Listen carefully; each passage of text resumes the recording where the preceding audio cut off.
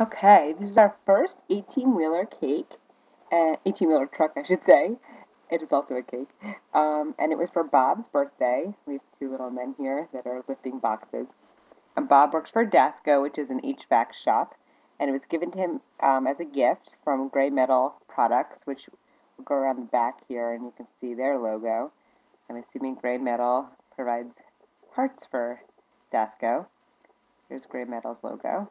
And all the boxes say Gray Metal on them.